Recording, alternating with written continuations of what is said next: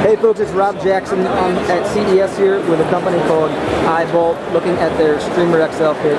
Um, basically this works with phones that don't even have HDMI, right? Phones that don't have HDMI. No, no, no HDMI. Uh, you plug the uh, plug the Streamer uh, XL kit into the USB port. Um, and can you show me the box that it, that it comes out of? This, and then the wire goes to this, which one of these is a is a charger, so you can actually charge your phone while it's uh, streaming live to the computer.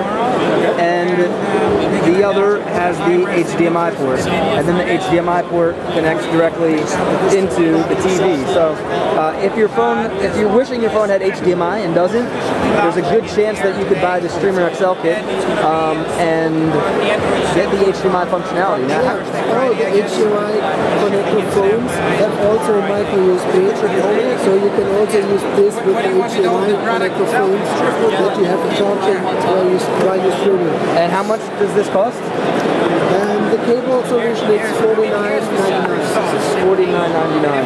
It's a wall charger, long HDMI cable, and this XXL long cable that you also can sit on your couch and watch your emails, read your emails. Can you do it online? What's that for phone? Galaxy S2? Just to see if it works? Chris Chavez building.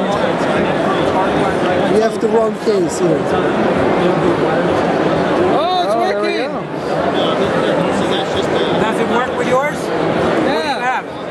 Galaxy S2. Ah. But what, what people are absolutely shocked about is that there is no delay. You see, it's, it's, they expect the latency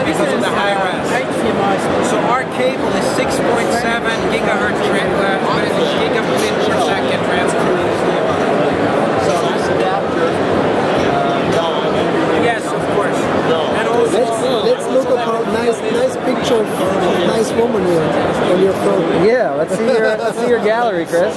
No, no. Let's not go happen.